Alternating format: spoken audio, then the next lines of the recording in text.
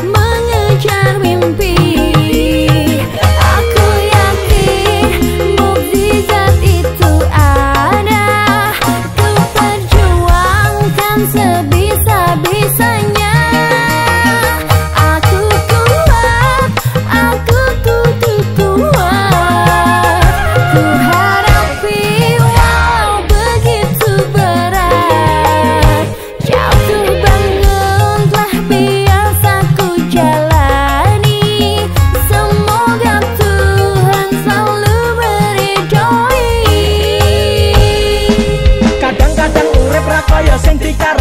kadang kenyataan ora kaya sing diimpenge aku kudu kuat aku kudu strong ora sah aleman ora sah so manja